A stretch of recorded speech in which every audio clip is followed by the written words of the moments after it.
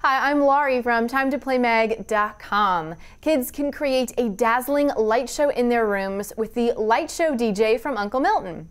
Turn on your favorite music and watch as the sound-activated, multicolored LED lights move to the beat of the music. For best results, position the Light Show DJ next to the speaker of any audio source with the Light Show DJ's microphone angled toward the speaker. There are more than 20 light and color combinations, and kids can choose from four different music programs to match their music style and mood. For slower music, maybe you want Rolling Wave, which provides slow, gradual light changes. For a dance party, try Fast Beat, which creates quick flashes of light that rapidly pulse to the beat of your music.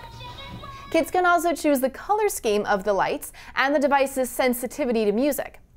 By adjusting the base, you can project the lights from four different angles.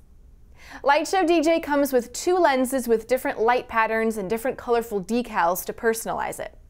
For best projection, position Lightshow DJ 4 to 12 inches from a white wall. It also works best in a darkened room, obviously. Three AA batteries are required but not included.